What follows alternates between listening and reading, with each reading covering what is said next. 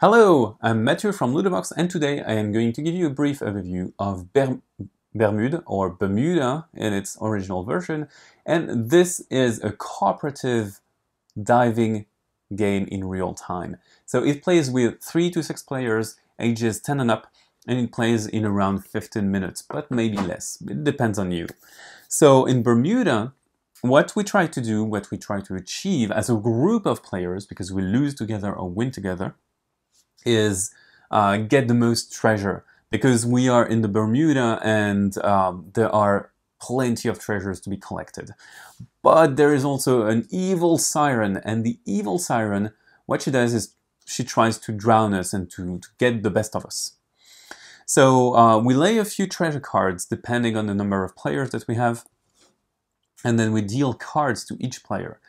And uh, a round of the game is not really ordered. A round of the game lasts until someone catches his breath. So this means that we are all going to play together at the same time with no turns and we can play on any surface of, of the, the table.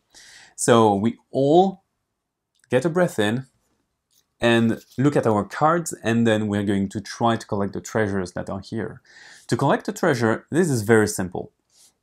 So for example, to collect this treasure, I need to align six cards here on this line. But the cards that I'm going to put have to be like really balanced. So for example, if I, if I put out a five, then I need either a six because it's just one above or one below. So I could put a 4, a 3, a 2, a 1, another 2, and I have 6 cards. So here I played it myself, but I breed a few times, so this is kind of technically not good. So I need to align 6 cards in there. So here it's 8, 6 and 6, it goes up to 10 in the worst cases, and everyone plays together on all of the lines. There's really no turn order. And the cards are numbered from 1 to 9 and 1 and 9 communicate. And then once a player catches his breath, or when uh, the players are satisfied and say stop, we're going to stop there, uh, we count the points. And basically what you need to uh, what you need to achieve is six cards that follow this exact order of uh, being one above or one below the previous card.